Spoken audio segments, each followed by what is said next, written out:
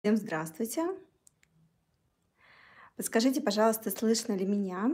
Все ли вам хорошо видно?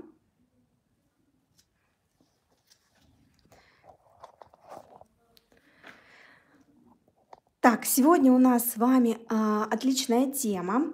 Тема у нас работа с боксом Габриэль и свежими весенними декорациями. Меня зовут Анна Гришанкова, и я сегодня ваш спикер на канале. Мы посмотрим сегодня, рассмотрим поэтапно, как сделать два дизайна, на мой взгляд, очень и очень симпатичных. А, один будет очень нежный, а второй у нас будет а, и вот с этими декорациями, с бабочками. А второй у нас будет а, дизайн такой более в стиле граффити, более дерзкий, скажем так, назовем его так. А, и я думаю, что они найдут отклик э, у ваших клиентов и тех, кто любит более романтичные дизайны, и те, кто, э, у тех, кто любит более такие смелые эксперименты. Давайте приблизимся и начнем. Итак, что я сегодня хочу показать? А, в боксе Габриэль у нас с вами есть прекрасные декорации, которые имитируют и принты, и украшения. Они у нас также в 3D. А, но сегодня я больше обращу внимание на цветовую палитру, которая представлена в этом боксе. Она мне очень нравится. Здесь все абсолютно ходовые цвета. И для начала мы с вами начнем с френчиком с френчиком. Для него я буду использовать вот этот оттенок, он называется Коко.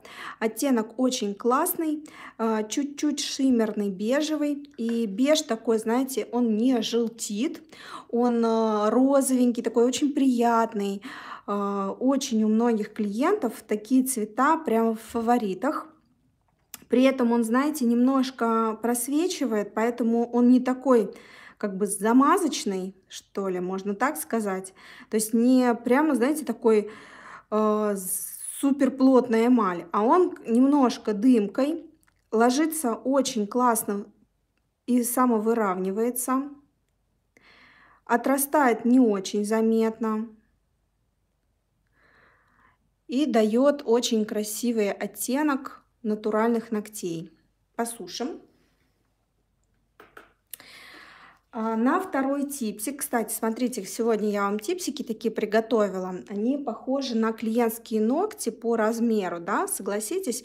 Потому что иногда типсы прямо большие-большие-большие, и то, что вы на них рисуете, потом вам иногда сложно перенести на ногти клиента, потому что на типсе все в большем масштабе, а на ногтях клиента чуть в меньшем масштабе.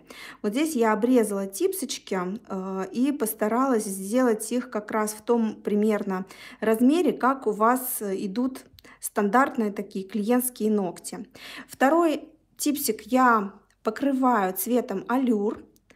Он очень-очень красивый, серый, разбеленный и достаточно плотный. Видите, я в один цвет Э, в один слой нанесла цвет, и он уже мне закрыл типс прямо наглухо, поэтому можно считать его смело однослойником. Тоже отправляем сушиться. И тем же цветом алюр я сейчас сделаю френчик. Сначала намечу его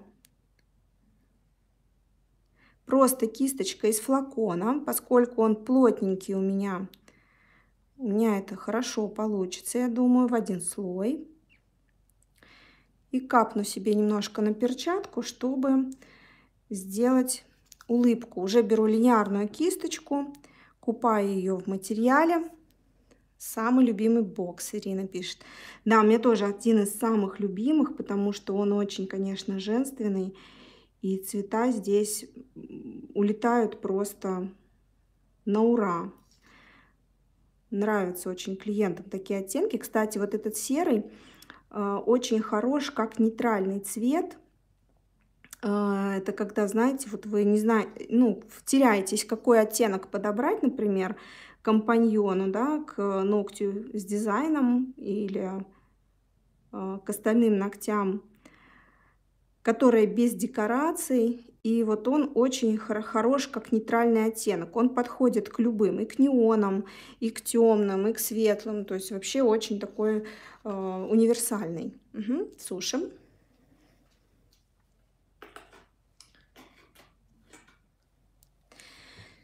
Так, что мы делаем здесь? Здесь я хочу пустить э, градиент. У меня будет э, здесь принт вот с этого слайдера. Принт будет примерно вот такой же, только в других оттенках. Э, у меня там присутствует красный, очень такой яркий, сочный, и зеленый, сочный. Поэтому сюда я добавлю небольшой градиент сверху зеленого оттенка. А, это из коллекции My Impulse номер 368. 368. Я люблю делать, девочки, градиент по сухому. Не очень люблю смешивать прямо на типсе два цвета. А, также я такой достаточно ленивый мастер для того, чтобы это все делать по акриловой пудре.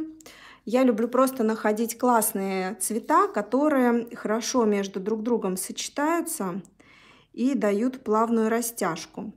Тем более, что мы здесь будем с вами э, крепить декорацию. Поэтому и стиль у нас такой, знаете, здесь похожий на граффити. Здесь э, отголоски 90-х, мода, мода 90-х, э, какие-то принты, кассеты и все такое. Поэтому здесь, мне кажется, можно, даже если вы немножко э, не, не растопчете границу в никуда, это здесь вообще совершенно прекрасно будет ложиться и не мешать общей картине.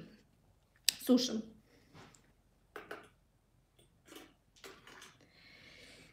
Так, наша нежность. К нежности я прикреплю декорацию с бабочкой. С бабочкой. Угу.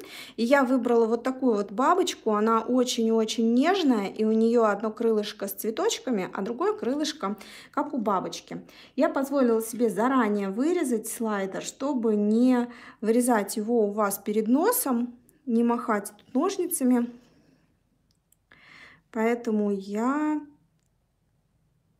сразу же его монтирую на ноготочек. Угу. Располагаю четко посередине. Можно по липкому слою чуть-чуть подвигать. И если вы видите морщинки какие-то, то можно разгладить это все ультрабондексом. У меня, в принципе, здесь морщинок особо нет. И я могу сразу приступить к следующему этапу. А дальше я хотела перекрыть это все тоненько вельвет топ гелем. Это вельветовый топ, матовый, он не имеет остаточной липкости, быстро просыхает. И я хочу добавить еще немножко росписью китайской. Не пугайтесь, э, я покажу эффектный очень мазок, который у вас должен получиться прям с первого раза. Сушим. Это самая основа китайки, и я уверена, что э, получится прям даже вот у тех, кто никогда не рисовал. Так, а сюда я тоже заранее э, вырезала слайдер вот такой и нанесу его вот сюда. Видите, я подобрала зеленый в цвет э, вставочки на слайдере, чтобы они между собой сочетались хорошо и давали мне такой перекличку друг с другом, верхняя и нижняя часть. Так, теперь я взяла тоже из My Impulse 366, потому что он похож на красный цвет. И сделаю несколько таких хаотичных мазков по бокам. Здесь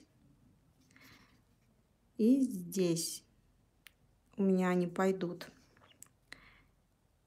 Я это делаю тонкой кисточкой. смахиваю, как будто у меня был здесь широкий мазок кист, сухой кистью. И также с этой стороны.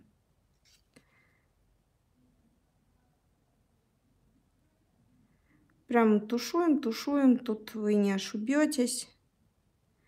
Можно прям резкими такими движениями делать. Главное разбить вот эту вот часть, которая у нас была нарисована, да. И можно вот сюда несколько мазочков тоже запустить. Сушим.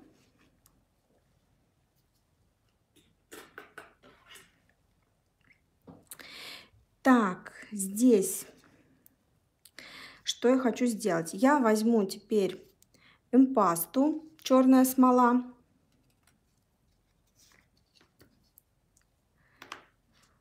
И нарисую разделительную линию. Мне хочется ее нарисовать четко посередине. И также я хочу окантовку сделать у френча.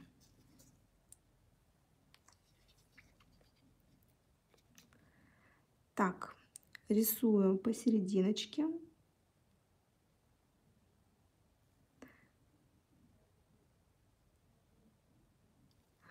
Типсик пополам делю. Сейчас, девчонки, разделю получше. Тут мне не нравится, как я нижнюю полосочку нарисовала. Вот этим хорошо очень эмпаста, да, и рисовать по топу. То есть, смотрите, слайдер мы уже защитили, вот мне здесь не очень нравится, как получилось. Я взяла клинером и подтерла. Потому что верхняя линия у меня получилась тоненькая, хорошая, а нижняя чуть-чуть ушла в сторону.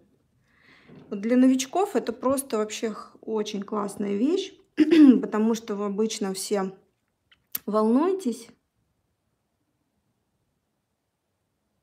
что может не получиться. Вот так мне больше нравится. И в сторону тоже подвожу френчик. Стараюсь линии делать максимально такие однородные, чтобы они выглядели как напечатанные. Можно, кстати, и так оставить, тоже прикольно. Да. Да, давайте так оставим, потому что у нас вот здесь вот более такая четкая прорисовка. И я еще хочу смотреть, что сделать. Я люблю очень подводить слайдеры, чтобы они выглядели прямо еще более реалистично. Поэтому я вот этим вот люблю заниматься. Прямо некоторые места беру допустим, усики пририсовываю. У меня, видите, белым уже намечено, где они должны быть. И поэтому ошибиться практически невозможно. Ну вот. И немножечко вот так доделала. И еще хочу, знаете, вот эту капельку маленькую внизу. Вот, как-то почетче сделать. Угу. Все, это я уже сверху потом еще подделаю тоже. Сушим.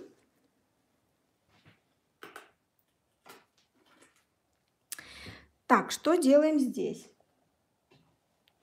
Здесь перекрываем глянцем. Это у меня будет теклес.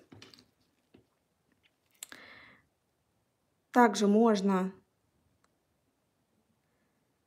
подправить, например, слайдер. Если у вас морщинки образовались, очень хорошо слайдер растворяет ультрабонд.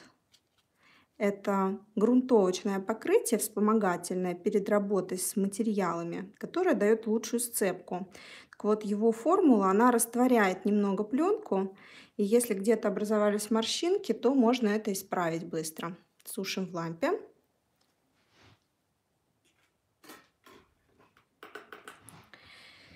Так, и китайская роспись. Смотрите, китайка делается э, скошенной кистью. В основном это, вот я работаю в работе, у меня ча, э, ну, практически 90% времени это вот такая кисточка у нас из коллекции для китайской росписи в Эми. Э, скошенный квадрат 2.0. И рисовать все это великолепие, конечно же, лучше всего набором эмпаста Так же, как я сейчас рисовала тонкие линии, ей можно рисовать и внутрь, и наружу, потому что они имеют достаточной липкости. И э, в ней все цвета, которые вам нужны для работы, и даже более. То есть есть полная палитра, белый, черный, и базовые цвета это красный, желтый, синий. Из них уже смешан зеленый, чтобы вы каждый раз не смешивали. Уже есть розовый, фиолетовый тоже, это очень ходовые цвета. Коричневые очень хорошо подходят для росписи всякой флористической, э, чтобы расставлять тени. И есть еще дополнительный цвет бордовый гранатовый сок, он очень классно заменяет черный в обводке, потому что он очень такой плотный, если, например, у вас какая-то композиция прямо, знаете, нежная-нежная и черная обводка, там э, плохо смотрится, ну и плюс, конечно, тоже в различных э, вариациях дизайна. Я сейчас э, уже за кадром сделала дорожку для китайской росписи из синего цвета, белого рафинада белого цвета и розовой мадженты. Угу. Так, сейчас покажу, как это выглядит. Тыдынц. Вот. Мои маленькие дорожки. Это просто две дорожки цвета, в которые я буду окунать кисточку. И рядышком тут, тут немножко их подсмешивать. Угу, только наоборот буду окунать. Сейчас переверну. Так. Чтобы у вас получилось а, мазок двухцветный, да, вам достаточно просто макнуть в это все дело кисть. Сейчас я поставлю на фон, чтобы вам было понятнее, что я делаю. То есть просто макаем... Ой, не то. Просто макаем кисточку и просто ставим э, мазочек ей. То есть ничего не перемешиваем. Это самая-самая вообще простая техника, которая может быть.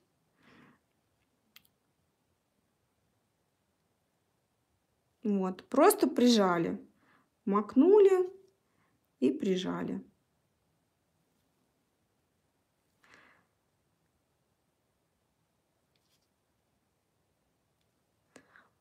И получается уже объемное такое вот изображение. Также в синий. Так, и еще у меня вот здесь будут такие же цветочки. Это я в поддержку цветочков на крылышках бабочки добавляю вот такие вот мазочки. Угу. Сюда добавили. Теперь синие. Тоже такие же маленькие. Прям поприкладывали несколько раз. И у нас получился букетик. И здесь также. Поприжимали и получился маленький букетик. Угу, сушим.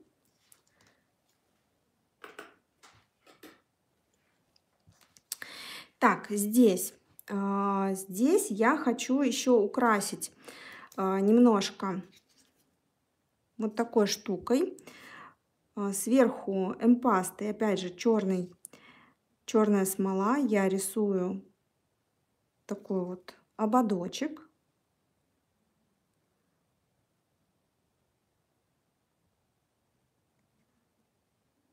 Ободочек.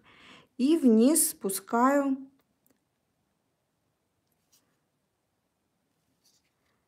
капельки, как будто у меня стекает краска.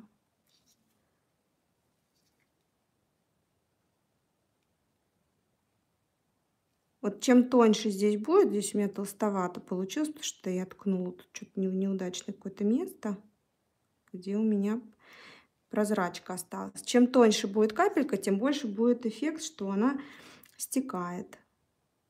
И, конечно, делайте потолще здесь вот основание. Потом тоненько, тоненько, тоненько, хлопс, и прижали кисточку. Получилась такая вот капелька. Угу. И здесь также потолще. Потом тоненько-тоненько и прижали. Получается капелька. можно здесь прям вот так вот нарисовать стекающую капельку тоже несколько и посушить.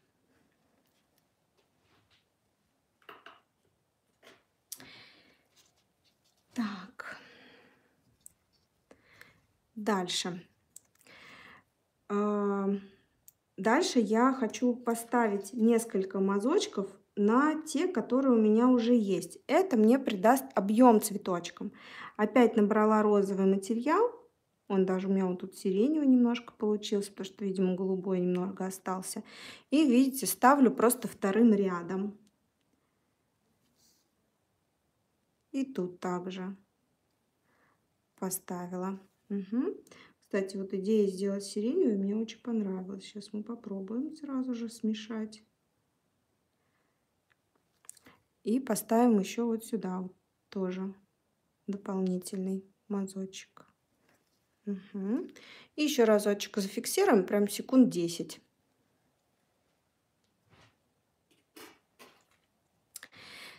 Так, здесь мне не хватает немножко свет, светлого чего-то, потому что у меня на сером фоне вот здесь пропала надпись. Мы откроем белый рафинат, тоже нас спасет импаста которую можно и снаружи, и внутри.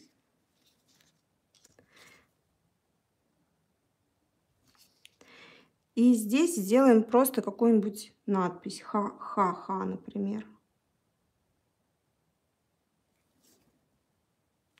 Чтобы нам тут недолго думалось. Угу. И еще там вот тут восклицательный знак, например. Сделаем два восклицательных знака. Угу. И здесь, наверное, напишем вот так вот еще чего-нибудь. Например, упс. Это, я повторюсь, мы все уже на поверхности рисуем. Рисунок у нас остается легким-легким барельефом. Но он совершенно не мешает носить ногти клиенту. Если, конечно, у вас клиент очень старательный, очень старательный и очень любит а, что-то делать руками, либо работа связана с а, какой-то деятельностью руками, то, может быть, есть смысл немножко а, перекрыть, допустим, просто прозрачным лаком, защитить. Угу. Но в общем и целом носится очень хорошо. Можно еще вот так. Здесь у нас с вами осталось буквально несколько штрихов. Я еще возьму зелененький, тоже из коллекции Эмпаста. Это у нас зеленый лес. И добавлю листики. Но эти листики, прям, вот знаете, даже если вы никогда в жизни не рисовали листики, вы их нарисуете. Смотрите. Я ориентируюсь вот на этот листочек в слайдере. Он прям вот малюсенький-малюсенький. И мы тоже. Мы можем просто вот здесь вот так вот приложить кисточку. И уже у нас будет такой вот букетик. И здесь также. Тоже просто приложим несколько раз кисточку в разных направлениях. И тоже у нас будет маленький букетик. Угу. Сушим.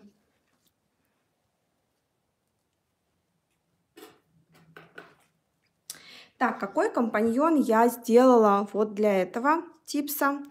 Вот такой вот. Зеленым я нарисовала кляксу такую большую. Тоже сделала такие а, мазки. Сюда я использовала еще синий цвет, синий оттенок из коллекции Габриэль. Называется Чанс. Очень красивый глубокий синий цвет. И классно сюда вписался, на мой взгляд. Поэтому можно э, это все использовать в паре. Дальше, что можно еще делать э, на остальных ногтях? Конечно же, вас спасет в любой ситуации, еще раз повторю, вот этот оттенок алюр. Если вы, например, э, хочет у вас клиент какой-то яркости, но, знаете, там супер бешеной яркости тоже ему не надо, э, то можно все остальные ногти просто покрыть серым оттенком, и будет очень и очень я думаю, что хорошо. Дальше, конечно же, вы можете покрыть также все серым оттенком э, и сделать, например, черной пастой сверху на остальных ногтях только подтеки краски да, а два ногтя, например, оставить такими. Тоже два ногтя экспериментируйте, не обязательно это должны быть безымянный и средний, это может быть, например, большой и указательный, или может быть э, там мизинец и безымянный, или может быть три ногтя, допустим, средний, э, э указательный и на большом пальце. Угу. Или, например, средний указательный и чуть на мизинце. То есть разбивайте эту композицию. Также можно на разных руках разные. Э, тоже будет очень и очень классно. Кстати, вот сюда, э, к этим, к этим э, дизайном отлично подойдет вот, так, вот эта вот коллекция слайдеров из набора, также Габриэль с вот такими постерами. То есть, несмотря на то, что здесь граффити, а здесь вроде Коко Шанель, но смотрите, здесь такая история с постерами, с надписями, вот такие вот очитки, э, отбивки с буквами, они все, что касается букв, плакатов, вот каких-то вот этих вот историй, вы можете спокойно на серый фон, например, на остальные ногти сделать, и все будет классно сочетаться. Таким образом мы соединили с вами э, две коллекции, да, коллекцию новых слайдеров и коллекцию слайдеров из набора Габриэль. Что еще классно подойдет? Из набора тоже очень-очень круто сюда впишутся вот такие вот вот такие вот фактуры. Представьте, если, например, на сером фоне, на остальных ногтях вы сделаете такие вставки, даже если это не на весь ноготь будет, то будет очень-очень круто смотреться. Также любые вот такие вот циферки или буквы тоже вообще совершенно прекрасно сюда впишутся и дополнят этот дизайн. Так, оставлю это на фоне, как уже сделано, сделаны варианты вам для вдохновения. И давайте доделаем наш дизайн с... Я знаете, что вот прям мысль такая осенила? Мы еще не использовали с вами вот этот цвет Мадемуазель. Хотя прямо он у меня один из фаворитов, потому что он очень прекрасно тушуется в градиент. Сейчас мы его нанесем и потушуем. И будет здесь тоже очень хорошо, мне кажется, он впишется, потому что он будет так оттенять мягенько сверху.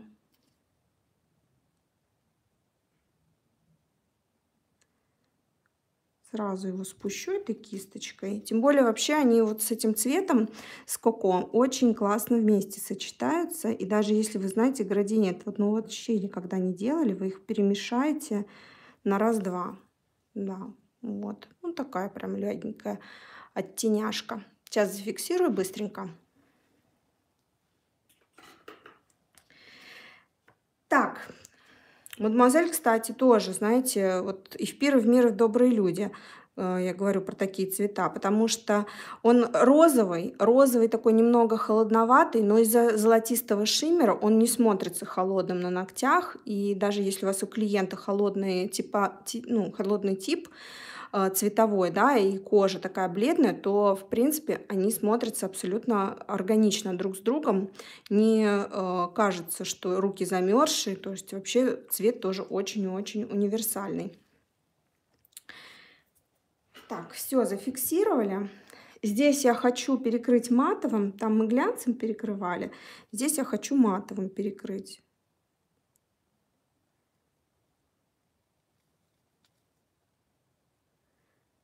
Все, перекрываем. Такой получился и романтичный, и графичный. Мне очень нравится. И нравится перекликание цветочков. Угу, сушим. А, матовый топ лучше сушить подольше, прям 2 минутки, чтобы он окончательно просох. Но вы можете уже через несколько секунд, смотрите, он уже становится матовым, он еще полупросушенный, но уже готов к тому, чтобы мы на нем что-то могли уже рисовать. Что я хочу на нем нарисовать? Во-первых, я хочу немножко дополнить. Вот здесь вот хочу тоже спустить вот такую вот капельку, как на крылышке у бабочки, чтобы они немножко лучше сочетались. Вот. Угу. Тоже, чтобы не терялось, что это у нас такое крылышко у бабочки. Потом, что еще? Я хочу вот здесь вот у розочки немножко подвести краешки лепесточков, чтобы она оказалась еще более объемная, такая же, как моя китайская роспись. Вот.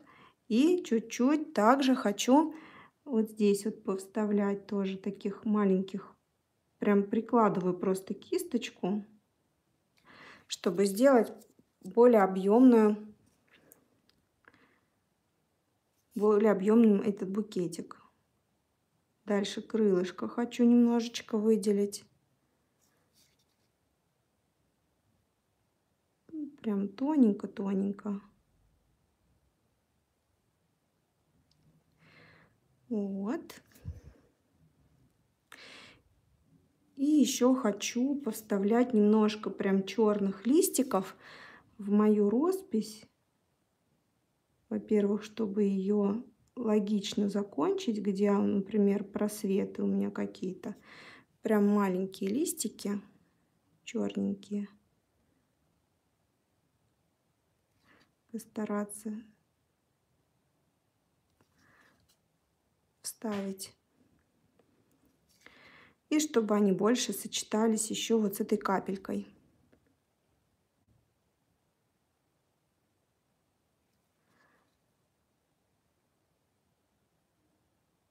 Маленький-маленький, прям стараюсь. Самые малюськи, какие только смогу нарисовать. Ну все, здесь уже не надо. Здесь и так все хорошо. Так, введу. Вот такой получился дизайн, супер нежный, классный. Мне кажется, что для романтичных клиентов прямо вообще супер зайдет. Сейчас чуть-чуть зафиксирую и покажу компаньона, который я сделала. Я там немножко поменяла композицию, и они вдвоем будут смотреться, думаю, что очень даже классно. Вот такие у меня получились. Такая парочка. Ну скажите, они такие милые, такие весенние, вообще классные. И видите, у меня бабочки так расположены, что у них крылышки э, друг напротив друга. И когда смотришь на них в паре, мне кажется, оно как-то в голове соединяется в одну бабочку. Не знаю, мне прямо вообще этот дизайн очень зашел. Я столько удовольствия получила, пока его сочиняла, и сейчас пока вам тоже рисовала. И мне нравится, что здесь еще, знаете, такой немножко сюрреализм какой-то примешался, да, а, когда вот сделано из цветов крылышко. И нравится, что графика здесь примешалась, такой минимализм, который сейчас очень актуален в дизайнах, тоже как-то здесь вписался, вот эти тонкие линии. Не знаю, я прямо вообще кайфанула от этого дизайна. Вот, надеюсь, что вы тоже. С чем можно сочетать? Девчонки, ну, во-первых, конечно же, вы можете сочетать э, просто с однотонным покрытием, да. У нас э, сейчас идет тенденция к неперегруженным дизайнам. И смотрите, как здесь китайская роспись круто вписалась, да, потому что китайка, она у нас принята, как-то заложилась уже на подкорку, что это огромные какие-то цветы, гигантский такой бабкин дизайн. На самом деле китайская роспись сейчас в современном исполнении с современными материалами это очень-очень тонкая, очень нежная роспись, которая дает такие прямо маленькие, красивые, нежные мазки, и никаких огромных лопухов совершенно ей рисовать не нужно. Вот, а, во-первых, вы можете для того, чтобы это было лаконично, вообще использовать на остальных какую-нибудь камуфлирующую базу. Во-вторых, вы можете остальные ногти просто покрыть бежевым коко, вообще без всего, да. Вы можете сделать классный градиент из э, цветов мадемуазель, да, или просто тоже покрыть на весь ноготь, или смешать. Смотрите, вот я даже смешаю, положу их рядом. И практически ничего не делая, а, они уже сливаются. А если их чуть-чуть только перемешать, то они входят друг в дружку просто вообще идеально. Все, они слились воедино. Ну, то есть вы растушуете вообще без проблем один на другой. Поэтому можно смело сюда еще вставлять очень нежный такой градиент. Конечно же, сюда пойдет цвет алюр, если вы тоже его на весь ноготь сделаете. Или, опять же, примешаете к нему либо один, либо другой оттенок. Вот эти все цвет, цвета вместе вообще отлично женятся э, и дружат. Если вы хотите как бы более, большей брутальности, вы можете э, остальные покрыть синим, и у вас тогда будет темный э, фон, э, он будет поддерживать как раз черную обводку у крылышек, будет поддерживать черненькие лепесточки вот эти. А, и вот эти два ногтя, они будут как бы высвечиваться сильнее и выбиваться немножко из общей массы, но э, это у нас будет как бы задумка такая, да, наоборот, они будут самые такие выдающиеся. Что сюда еще из декораций из, из э, Габриэля пойдет?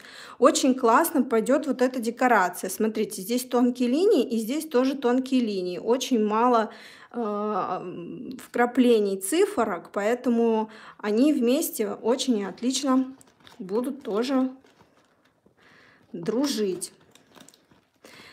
Также очень хорошо будет, например, если вы отпечатаете где-то матовую фольгу, она тоже есть в наборе, и сделаете просто такую фактуру, например, на бежевом фоне э, розовой матовой фольгой, хаотично. Тоже будет классно. Ну и, конечно, сюда э, на остальные ногти пойдут любые вот такие вот э, полосочки. Это может тоже быть что-то лаконичное совсем, да. А, либо вот такую, такую полосочку можно где-то пустить на большом, например, пальце. И очень классно сюда пойдут вот и такие вот розовые тоже бантики, потому что бабочки, бантики, это все тоже такое из одной оперы. И тоже будет вместе смотреться очень приятно. Ну что ж, сегодняшний эфир э, подошел к концу. Я постаралась его сделать максимально для вас информативным, полезным и э, не утомительным, чтобы в записи присматривать было комфортно.